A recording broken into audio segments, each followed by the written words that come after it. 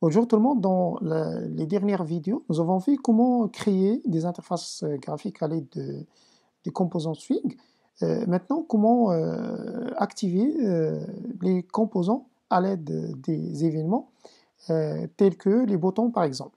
Alors quand je clique sur un bouton, derrière que nous avons une action qui va être exécutée à l'aide d'un événement. Quand un événement arrive, alors une action qui sera euh, exécutée. L'événement qui arrive, soit un clic bouton, soit euh, l'utilisateur euh, bon, tape une commande clavier ou autre chose. Donc nous avons plusieurs types d'événements qu'on peut les attraper à l'aide de ce qu'on appelle un listener. Donc un listener ou un écouteur qui va donc écouter les- les événements qui arrivent dans le composant et selon le type euh, de l'événement qui arrive, donc euh, on déclenche euh, une action à exécuter. Et donc nous avons un listener qui est caché, qui, permet donc d'activer une action ou exécuter un code tout simplement Java. Alors, le, listener utilise ce qu'on appelle une interface prédéfinie, Action, Action Listener, euh, qui est déjà prédéfinie en, Java, euh, dans laquelle on implémente une méthode Action Performance. Euh, Action Performance, c'est une méthode dans laquelle on exécute un, code après clic de la souris ou après un événement clavier. Et donc, l'interface Action Listen, c'est une interface prédéfinie qui permet d'exécuter ou, euh, euh, mobiliser l'interface euh, graphique. Et, bien sûr, quand je clique sur un bouton, donc je fais appel à un Action Listener, mais ce bouton doit être lié à ce qu'on appelle une action. Donc je dois lier bien sûr le bouton à un Action Listener à l'aide de la méthode Add Action Listener euh, qui permet de faciliter en fait l'exécution de la méthode euh, Action euh, Performance et exécuter le code qui se trouve à l'intérieur. Nous avons des méthodes qu'on peut les utiliser pour attraper par exemple l'événement. Donc on peut utiliser get action command qui, qui donc retourne une chaîne associée à l'événement. Donc c'est par exemple euh, un bouton appelé enregistrer. Donc on peut attraper euh, la chaîne de caractères euh, action ou enregistrer et la mettre dans action command et puis gérer selon le clic de la souris, clic utilisateur, gérer un code bien déterminé ou exécuter un code. Je peux utiliser le nom de le composant au lieu d'utiliser l'intitulé de composant, le mot enregistré, je peux utiliser le nom de bouton, c'est-à-dire le nom euh, défini euh, comme composant dans l'interface euh, graphique. Et donc à l'aide de get source que je peux attraper l'événement d'un bouton quelconque. Je peux utiliser la méthode getID pour retourner le type d'événement ou getWhen pour retourner le temps écoulé depuis l'apparition de l'événement ou, depuis que l'événement a été attrapé. Donc, euh, on revient à la même, euh, la même interface euh, graphique. Dans notre interface graphique, nous avons euh, un menu.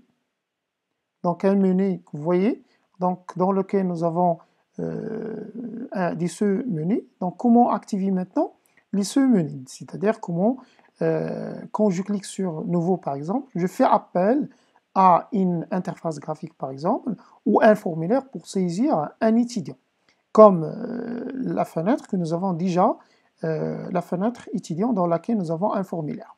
Alors, euh, comment faire Dans fenêtre, je, crée une classe, une classe qui va donc implémenter l'interface Action Listener.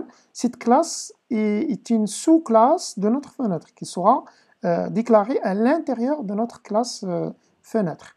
Et donc, euh, classe appelée, dans ce cas, Listener par exemple, Listener étudiant ou Listener menu, par exemple, parce qu'on parle ici donc euh, de la fenêtre menu. Alors, listener menu euh, implement, implement Action Listener, donc qui implémente une interface appelée Action Listener. Bien sûr que la classe doit implémenter la méthode Action Performance. C'est une méthode qui est définie dans Action Listener qu'on doit bien sûr l'implémenter dans, dans Listener Menu. Et donc, euh, cette euh, méthode qui contient un action event, action events qui permet donc de retourner euh, le type d'événement, donc FE, point soit get source, soit get win ou ID ou action command, ça dépend bien sûr le, la méthode qu'on va choisir. Si vous mettez par exemple get source, donc ici, on parle de nom de composant. Donc on va utiliser le nom de composant. Alors le nom de composant qu'on va utiliser, dans notre cas, c'est nouveau, nouveau E, le, sous-menu nouveau E. On va utiliser ce, ce nom comme source. C'est le nom de composant. Quand vous utilisez, par exemple, get euh, command, euh, on parle de, le nom de item, c'est-à-dire euh, ce nom. Donc on va utiliser cette chaîne de caractères. Donc get commande retourne chaîne de caractères, mais get source retourne l'action, l'objet action.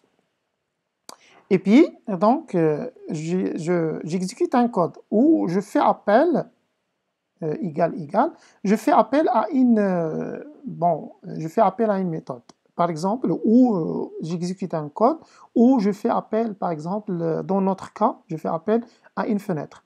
Nouveau E n'est pas reconnu en tant que composant. Pourquoi? Parce que il est déclaré à l'intérieur de constructeur. Donc je dois la déclarer. Bon, je dois la déclarer ici, l'extérieur, comme un attribut de, la classe. Et donc j'utilise ici nouveau E. OK.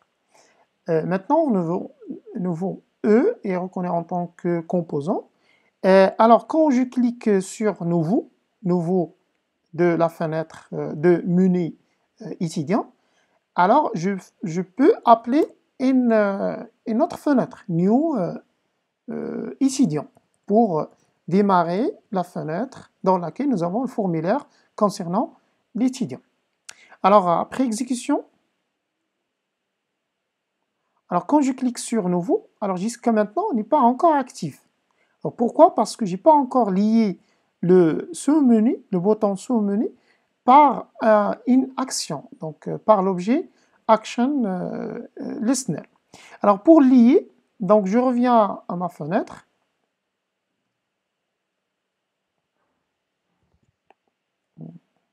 Pardon. Pour le lier, donc je reviens à ma fenêtre et lier nouveau E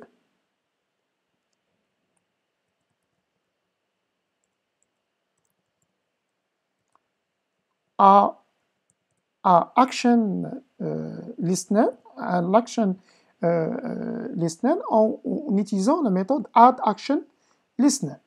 Alors, Add Action Listener est, pour lier le bouton menu, ce menu, à une action de type listener menu. Donc, je dois ajouter comme paramètre un objet listener menu.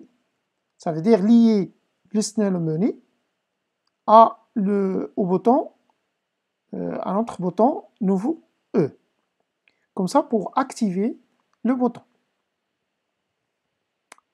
Alors après exécution, maintenant que je peux appeler euh, la fenêtre. Donc la, fenêtre a été bien appelée maintenant. Que je peux maintenant saisir euh, l'étudiant et par la suite enregistrer. Maintenant, je vais donc euh, lier le bouton enregistrer à un événement. Donc, je pars vers la, fenêtre, ma fenêtre étudiant, et par la suite, gérer le bouton. Quand je clique sur enregistrer, j'exécute un code. J'envoie les résultats dans une base de données, dans une table qui se trouve dans la base de données, ou par exemple afficher les éléments saisis par l'utilisateur dans le console par exemple. Alors je reviens à mon code, fenêtre, et je crée une classe de la même façon, euh, pardon, dans étudiant, fenêtre étudiant, et je crée une classe de la même façon, classe. Euh, je vais donc l'appeler listener, euh, bon, dans ce cas, listener, bon, étudiant, concernant les étudiants, qui implémente bien sûr l'interface action listener. De même, donc je crée ma, ma méthode où euh, j'implémente ma méthode action euh, performant ayant un événement action event. Alors selon l'événement, donc FE, point, maintenant je ne vais pas utiliser get euh, source, mais j'utilise get action, action qui retourne une chaîne de caractères. Une chaîne de caractères, c'est le nom en fait de, du bouton, le nom ou l'intitulé du bouton. Donc nous avons le bouton, il se trouve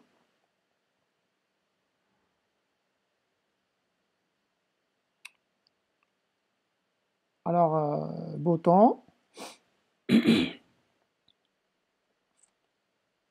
voilà le bouton.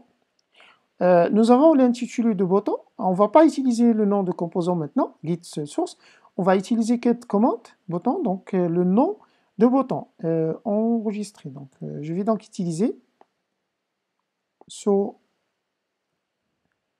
cette chaîne de caractères comme retour. Dans le cas où nous avons enregistré, le problème c'est que si vous avez d'autres boutons ayant même intitulé enregistré, on aura un problème. Dans ce cas, il faut utiliser à la place de get action command, j'utilise get euh, euh, source. Alors, quand je clique sur enregistrer, maintenant je, peux afficher, par exemple, system.out.println, afficher euh, les informations saisies. Code 2 points, saisi par l'utilisateur, please. Alors, comment récupérer les valeurs des zones de texte? Ben, simplement le nom de la zone de texte, appelé dans ce cas bon, euh, nous avons le code, zone de texte appelée code, nom, prénom, l'âge, filière, etc. Alors, je, récupère le code, point, avec la méthode getText, texte pour récupérer le texte saisi par l'utilisateur. De même pour les autres, donc euh, je copie le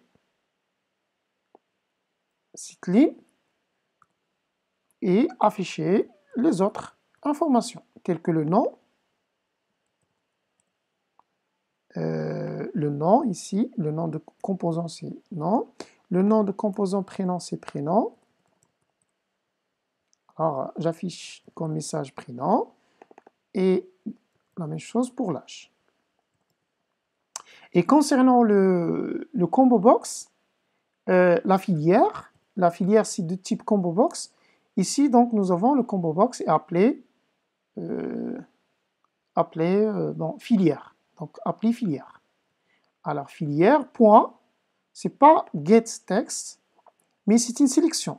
Donc c'est pas une zone, zone, de texte, mais c'est une sélection. Donc filière, point, get select selected item. Donc le item qui est sélectionné par l'utilisateur, qui sera bien sûr euh, affiché dans le console. Alors maintenant, j'ai bon, comme action, donc nous avons euh, tout simplement affichage de résultats de saisie de l'utilisateur. Et, il faut euh, donc lier le bouton enregistré par listener étudiant, par un objet listener étudiant. Donc je pars vers le bouton. Alors le bouton où se trouve mon bouton enregistré. Donc lier le bouton, bouton, point add action listener. Et donc, j'ajoute un objet, donc il sera lié par l'objet listener euh, étudiant. Donc, listener étudiant. Maintenant, le bouton enregistrer est bien lié à, euh, au listener que nous avons, listener appelé listener étudiant. On peut bien sûr créer euh, plusieurs listeners dans une interface graphique et chaque listener peut gérer un ensemble des composants.